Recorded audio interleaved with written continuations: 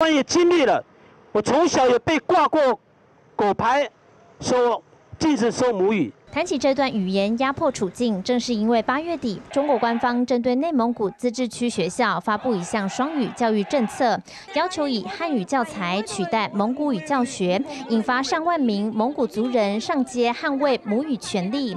眼看当年发生在台湾的同化政策将在内蒙古重演，十一号上午，多个原民团体站出来声援。他说：“你们台湾的原住民族。”已经没有一个族群是安全语言了，所以我用这样的痛心，今天站在这个地方，就是要呼吁你的母语，你好好的讲；别人的母语，你好好的听。你千万不要像中国共产党一样，自己要宣扬自己的汉语，然后把别人的母语。践踏！我们听到中国国共产党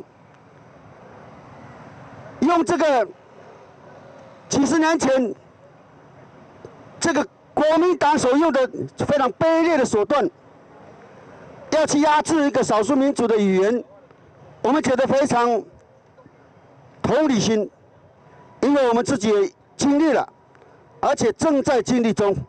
就是因为经历过当年的禁说族语政策，导致当时的族语环境被破坏，更加速流失族语使用人口。台湾基督长老教会总会议长阿布斯也用族语说明，族语消失的背后，大致牵涉到民族存亡，小至关系到个人对自我身份的认同。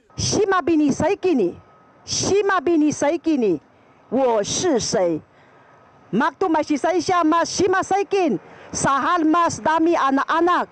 Masih saya siya mas shima saikin. Sahal mas takay isa saikin. Mada inaka shido. Mada inaka halinga. Siyan hay kalimanun siyan to. Mapantala-tala to kalimanun to shikining. 面对中共再一次企图透过语言政策进行种族同化，立委林长佐跟吴丽华也到场支持，提到挽救各族方言，国家已透过立法层次加强语言传承发展，也呼吁北京当局悬崖勒马，还给蒙古族人应有的语言权。还给蒙古族人语言权。还给蒙古族人语言权。原视新闻就是买许家荣台北市采访报道。